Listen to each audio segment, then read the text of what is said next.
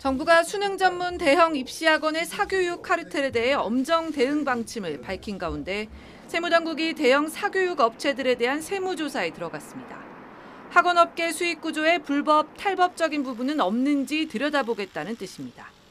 국세청은 오늘 오전 서울 서초구 메가스터디 본사의 조사관들을 보내 회계장부와 세무 관련 자료 확보에 나섰습니다.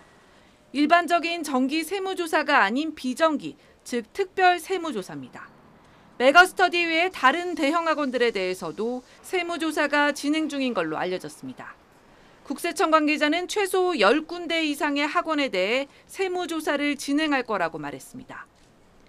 시대인재와 대성학원, 종로학원, 이투스 등 규모가 큰 학원들이 대부분 세무조사 대상에 오른 걸로 예상되고 있습니다. 일타 강사 등에 대한 세무조사도 동시에 이루어집니다. 학원업계에 대한 비정기 세무조사는 이명박 정부 이후 처음이라는 게 입시업계 관계자들의 얘기입니다. 국세청 관계자는 고액 수강료에 대한 신고를 누락한 일타 강사 10명에 대해 이미 지난 4월 세무조사에 착수했고 이들에 대한 혐의점을 발견해 현장 조사를 나가게 된 거라며 최근 사교육업계를 겨냥한 정부의 질타와는 직접적인 관련은 없다고 설명했습니다.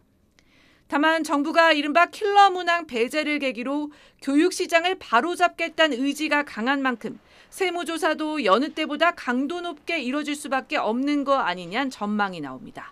SBS 정유입니다.